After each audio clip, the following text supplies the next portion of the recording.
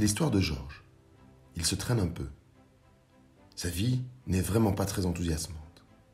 À l'école, il ne ressent que très peu de motivation. Et dans son activité sportive, les choses ne se passent pas aussi bien qu'il le voudrait. De plus, sa relation avec ses parents et sa sœur est loin d'être au beau fixe. Il y a régulièrement de la tension. Et comble de son malheur, en voulant quitter la maison avec son papa comme il le fait chaque matin, pour se rendre à l'école, la voiture est en panne. Impossible de la faire démarrer.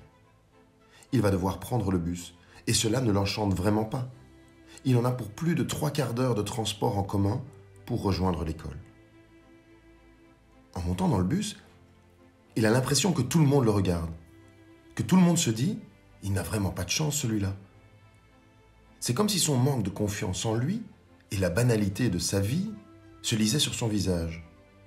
Il a juste envie d'une seule chose, aller se terrer dans le fond du bus et que personne ne le regarde. Décidément, encore un lundi matin qui annonce une belle semaine de merde, se dit-il. Pourtant, une chose l'avait frappé en rentrant dans le bus. Le sourire resplendissant de la conductrice. En plus de ce sourire, Georges avait même eu l'impression qu'elle comprenait et qu'elle compatissait. En rentrant chez lui le soir, après cette journée d'école ô combien banale, son père lui annonce qu'il devra prendre le bus durant les 15 prochains jours, car le garagiste l'a appelé et la voiture va être immobilisée durant deux semaines. Le lendemain matin, Georges reprend le bus. Lorsqu'il passe la porte, la tête baissée, il ne remarque pas que c'est la même conductrice au volant. C'est cette dernière qui le lui fera remarquer d'un Bonjour jeune homme, je suis contente de te voir aujourd'hui. Georges est d'abord flatté qu'elle l'ait remarqué et qu'elle lui accorde même de l'attention. Mais ensuite il s'étonne un peu. Cette conductrice de bus n'est vraiment pas normale. Qu'est-ce qu'elle a à sourire comme cela, de grand matin? De plus, son job ne doit pas être le plus motivant, ni le plus enthousiasmant. Pourtant, elle est souriante, ses yeux pétillent. Et le son de sa voix a l'effet d'une bonne musique qui te booste. Le soir, en reprenant le trajet de la maison, Georges se surprend à espérer que ce soit la même conductrice au volant du bus qui le ramènera. Durant la soirée, il en parle même à ses parents en leur expliquant à quel point cette personne a l'air heureuse et de bonne humeur. Il se demande si demain, il la reverra. Et surtout, si elle sera toujours aussi sympa avec lui. Après un réveil difficile, Georges se lève. Il se prépare et se dirige vers l'arrêt de bus. Il est en retard, mais accélère le pas. Au loin, il voit le bus. Il court pour ne pas le rater et risquer d'arriver en retard à l'école. En rentrant dans le bus essoufflé, il croise immédiatement le regard de la conductrice. Ses yeux pétillent et son sourire illumine tout son visage. Bonjour, comment t'appelles-tu? lui lance-t-elle. Georges. Enchanté, Georges, moi c'est Joy. Bienvenue dans mon bus, le bus de l'énergie. Georges s'assied à proximité de Joy et espère qu'elle entame la conversation. Lui qui d'habitude est plutôt du genre à éviter tout contact. Et Joy ne tarde pas à lui adresser la parole. Tu es nouveau? Tu as changé de moyen de transport? Je n'ai que des habitués, alors les petits nouveaux, je les repère rapidement. Et il n'en faut pas plus à Georges pour expliquer sa situation. Son manque de chance, son ennui, sa relation difficile avec les membres de sa famille. Joy l'écoute avec beaucoup d'attention et sans l'interrompre.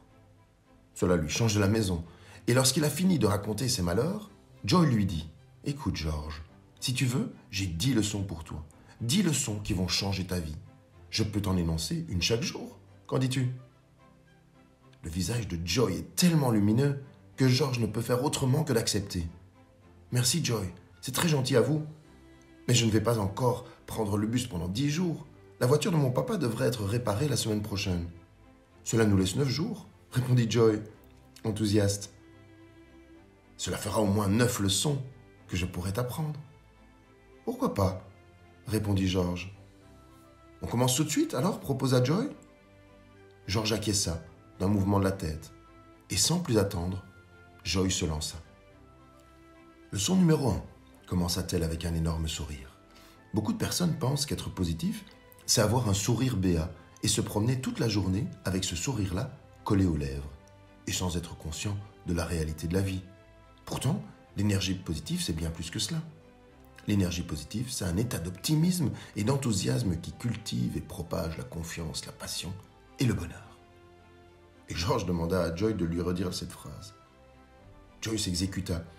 L'énergie positive, c'est un état d'optimisme et d'enthousiasme qui cultive et propage la confiance, la passion et le bonheur. George avait seulement compris que cette phrase était un peu trop compliquée pour lui. Et Joy l'a bien compris. Elle sait aussi que cette phrase fera sens dans quelques jours. Et elle repart de plus belle. Pour cela, George, il faut prendre le contrôle de ta vie. Tu n'es pas le seul à avoir l'impression d'être assis dans le siège passager de ta vie. Malgré tout le confort dans lequel nous vivons, nous ne savons pas ou plus quel sens donner à notre vie. Tu dois reprendre le contrôle de ton propre bus, Georges. Cette phrase a résonné immédiatement dans la tête de Georges. C'est exactement cela qu'il ressent. Il ne sait pas pourquoi, ni pour qui il fait les choses, pour qui il étudie, pourquoi il se dispute avec sa famille. Et Joy de renchérir. Sais-tu pourquoi les gens sont malheureux? demanda Joy. Je n'en ai que très peu d'idées, répondit Georges. Les gens sont malheureux parce qu'ils n'ont pas leur mot à dire dans leur vie. Les gens sont malheureux parce qu'ils ont l'impression que ce sont d'autres qui définissent ce qu'ils doivent faire et comment ils doivent le faire. Ils ont même parfois l'impression que ce n'est pas eux qui définissent leur manière de penser, la famille, les amis ou les médias leur imposent une manière de penser. Tu dois reprendre le contrôle de ta vie, Georges. Voici la première leçon. Mais je vois que tu es bientôt arrivé à ton arrêt, lança Joy. Georges n'avait pas vu le temps passer il était subjugué par les paroles de Joy. Au revoir, madame, et à demain.